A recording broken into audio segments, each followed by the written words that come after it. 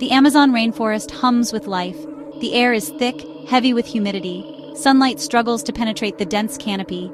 Beneath the lush foliage, a sense of primeval danger lingers. We are not alone. There, amongst the tangled roots of ancient trees, something stirs. A flash of scales, the rustle of leaves, and then we see it. A monstrous head, wider than a man, emerges from the undergrowth. Its eyes, cold and ancient, fix on us. This is no ordinary serpent. This is Titanoboa, the largest snake to ever slither across the face of the earth. But this is not the Eocene epoch, 56 million years ago. This is now. This is our world, one where the Titanoboa never went extinct. Today, the Amazon basin would be the Titanoboa's domain. This warm, humid environment, rich in prey and covered in dense rainforest, perfectly mirrors the conditions in which this colossal serpent thrived millions of years ago. Imagine, if you will, the mighty Amazon River, its brown waters reflecting the emerald canopy above. Beneath the surface, a dark shape glides effortlessly. The Titanoboa, a denizen of the deep, patrols its watery realm. Compared to modern-day giants like the anaconda or the reticulated python, the Titanoboa dwarfs them. While these impressive snakes can reach lengths of over 20 feet, the Titanoboa stretches to an unbelievable 50 feet or more.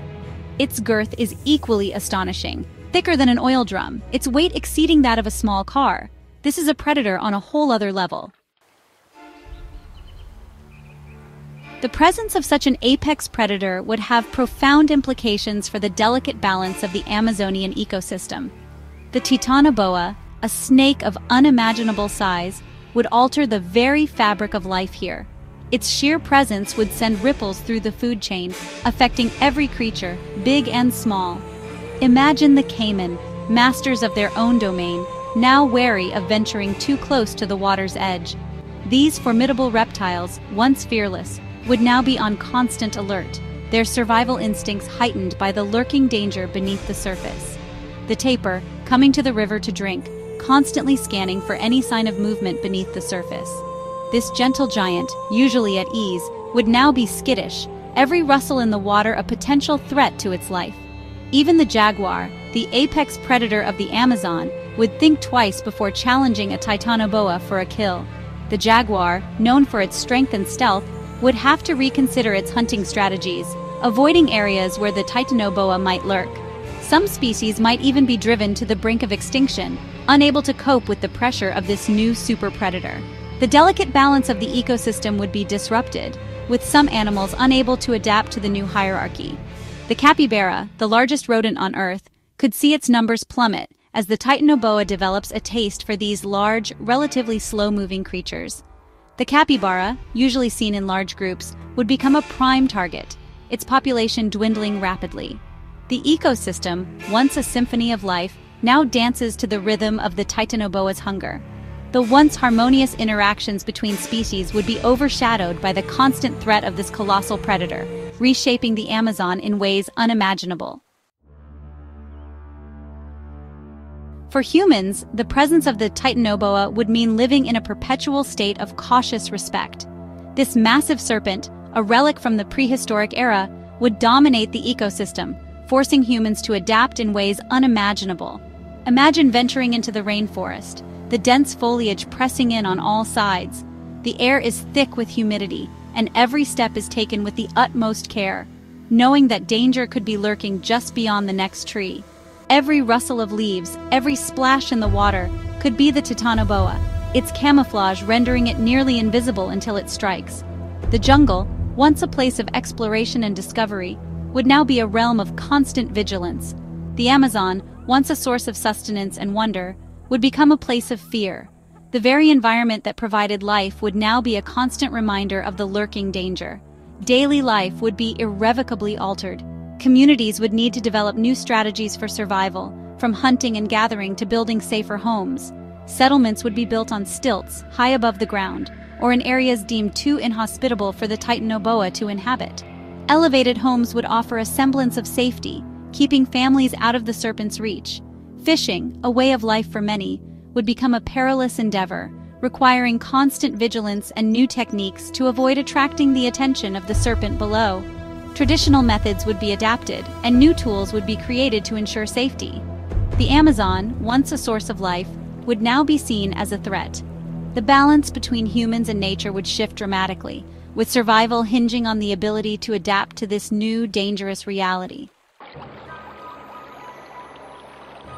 Section 5 Walls of Protection Infrastructure and Defense.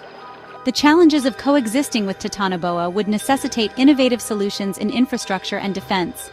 Imagine entire villages encased within massive reinforced walls, designed to withstand the crushing weight of a Titanoboa's constricting coils.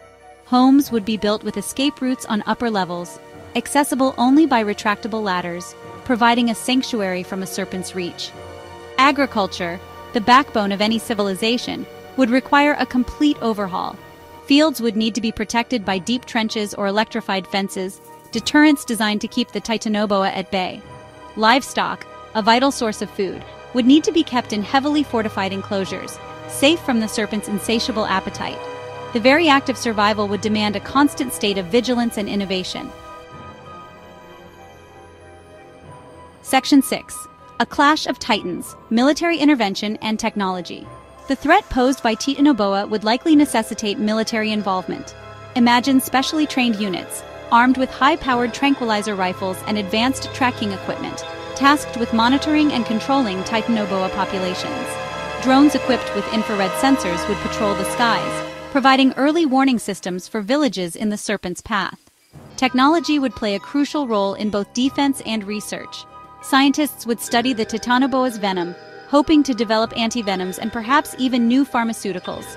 Engineers would work tirelessly to create stronger, more effective barriers while geneticists might even explore the possibility of genetically engineering a smaller, less threatening subspecies of Titanoboa, one that could potentially coexist more peacefully with humans. Section 7 Fear and Domination A Psychological Tightrope. The psychological impact of living alongside Titanoboa would be profound. The constant threat of encountering such a creature would undoubtedly lead to a heightened sense of fear and anxiety myths and legends would spring up around the Titanoboa, painting it as a fearsome deity to be both revered and feared. Yet, adversity often breeds resilience. Humans, facing such a formidable creature, might develop an even deeper respect for the natural world. We might learn to coexist not through domination, but through understanding and adaptation. The Titanoboa, in its terrifying magnificence, could remind us of the power and unpredictability of nature, a force that demands our respect. Section 8 Coexistence or Conquest A Question for the Ages. This is a dilemma that has puzzled humanity for centuries, and it remains as relevant today as it ever was. The question remains could humanity truly coexist with a creature like Titanoboa? This prehistoric giant, a snake of unimaginable size, challenges our very understanding of nature's balance. Would we find a way to share the planet with such a formidable predator? Or would our fear and instinct for self preservation inevitably lead us down a path of conflict and conquest? History has shown us that humans often react with fear and aggression when faced with large predators. Would we, as we have with so many other species throughout history, ultimately drive the Titanoboa to extinction, a testament to our own dominance over the natural world? Our track record with other species suggests a grim outcome, or could we, perhaps, learn to live in a state of uneasy truce, respecting the Titanoboa's place in the ecosystem while taking steps to ensure our own safety and survival? This would require a significant shift in our approach to wildlife conservation and a deeper understanding of the ecological roles these creatures play. The answer, as with so many things in nature, is complex and multifaceted, a testament to the intricate web of life on Earth. It calls for a balance between fear and respect, between dominance and coexistence, a balance that is delicate and ever changing. Section 9 A World Forever Changed The Legacy of the Titanoboa. In a world where Titanoboa never went extinct, the very fabric of life, particularly in the tropics, would be forever altered. The rainforests, once teeming with life, would be forever changed by the presence of this apex predator. Humans, forced to adapt or perish, would develop new technologies, new strategies, and perhaps even a new understanding of their place in the natural order.